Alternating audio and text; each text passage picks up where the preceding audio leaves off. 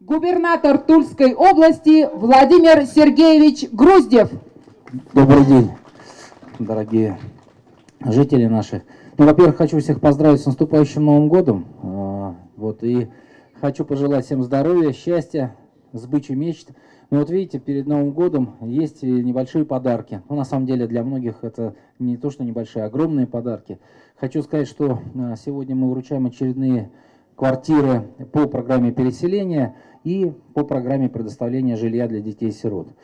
А, завершается строительство нового микрорайона здесь у нас э, в Новоугольском.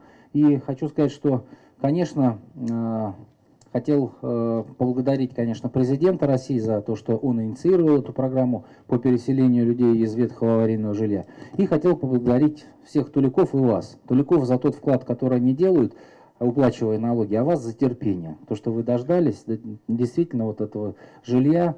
И в непростые времена экономические, видите, вот мы все-таки решаем эти вопросы и предоставляем жилье бесплатно.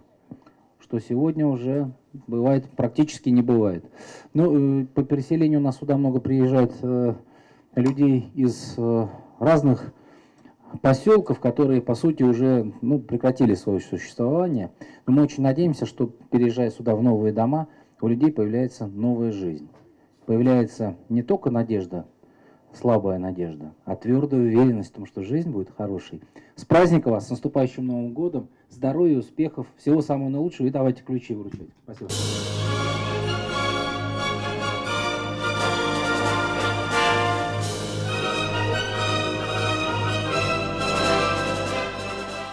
Ну что хочу сказать. Сегодня у нас 15 квартир мы вручаем.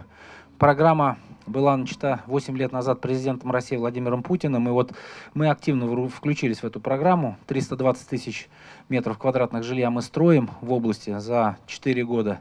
Вот уже почти 120 тысяч построили, переселили. Больше 6 тысяч уже человек переселили, а всего надо 16,5 тысяч. Представляете, 6 тысяч человеческих судеб.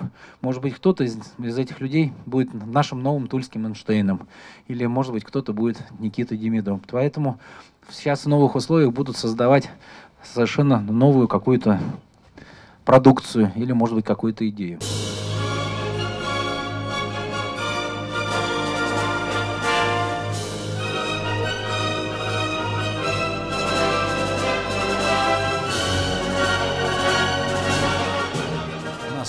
Общая программа, напомню, 321 тысяча квадратных метров, 16,5 тысяч человек мы должны переселить.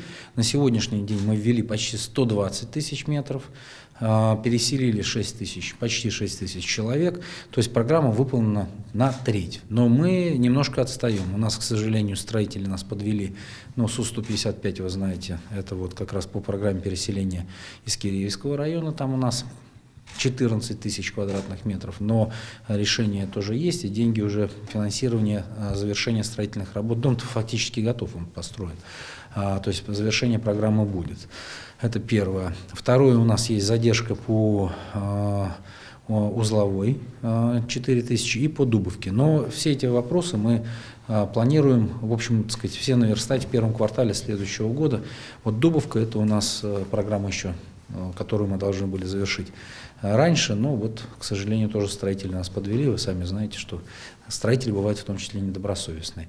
Ну и, в принципе, э, все остальные, э, все остальные программы у нас идут нормально. Из 320 тысяч метров у нас вызывает пока сомнения только, э, только 4 тысячи метров. Это вот по программе по узловой, где, к сожалению, между собой акционеры все никак не могут разобраться, кто из них что должен делать. Ну, Э, контракт пока не завершен. Но денег, э, хочу сказать, что мы оплачиваем только те работы, которые реально выполнены, то есть переплаченных денег у нас нет.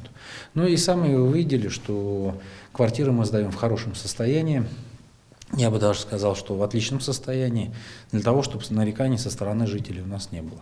Были такие случаи, но мы все такие случаи стараемся устранять и шлифовать. По детям-сиротам за 4 года у нас выдано 750 квартир. А здесь э, тоже, к сожалению, не все, не все планы, которые были реализованы, которые были запланированы и реализованы. На следующий год почти 650 квартир мы должны, вот кровь из носа, но должны отдавать. Но, опять же напомню, 4,5 года назад очередь была детей-сирот 170 человек, и квартир давалось 10-15. Вот мы выдали почти 750 квартир, а очередь у нас еще больше тысячи человек, еще 1100. То есть это все вот накопленные старые долги, люди поверили, что область свои обязательства выполняет, и мы э, стараемся передавать. Но еще раз говорю, э, к сожалению, непростая ситуация со строителями. Это не только касается Тульской области, это общая проблема. Общефедеральные строительные компании чувствуют себя непросто. Поэтому для нас очень важно и деньги не потерять, и получить результат. Поэтому будем реализовывать его дальше. Сложно, непросто, но, слушайте, дорогу оселит идущий.